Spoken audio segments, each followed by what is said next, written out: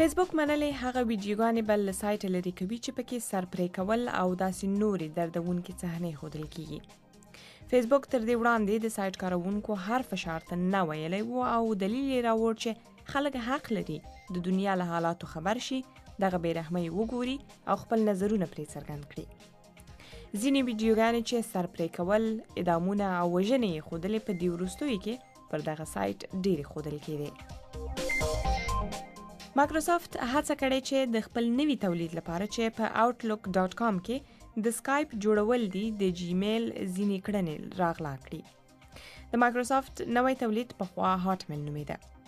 دغه نوې ایمیلي برخه په برتانیا کې کاروونکو ته وړاندې شوې چې خلک پکې کولای شي د آډیو زنګونو ترڅنګ یې ویډیو هم وکاروي همدارنګه به دوی وکولای شي پر سکایپ مخامخ مسجونه هم ولیږي دا هرڅه د یو براوزر پلګین تر ډاونلوډ وروسته شونې دي څېړنو ښودلې چې په لومړي ځل هغه مخامخ مسیجونه چې د واتس اپ په شان پر پیغام لیږلو اپلیکیشنونو لیږل شوي تر هغو ډیر دي چې له عادي موبایلونو لیږل شوي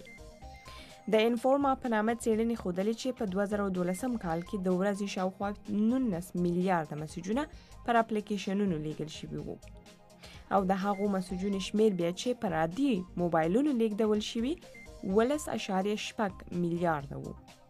دا ښایي موبایل کمپنیو ته ښه زیری نه وي ځکه هغو تر ډیره پیغام لیږل د ډیرو پیسو په معنا ګڼله او بل اخره د ویب پر شلمې کلیزې د اټومي ټکنالوژۍ د څېړنو ادارې په خپل وروستۍ پروژې کې هڅه کړې چې د نړۍ لومړۍ ویب پاڼه دوباره جوړه کړي CERN وايي په دې سره هیله ښیي چې دغه ویبپاڼه به خلکو ته یو مثبت روح ور وبخښي او د ویبپاڼې بنسټیز ارزښتونه چې له کنټروله پرته موادو او معلوماتو ته لاسرسی دی ور په یاد کړي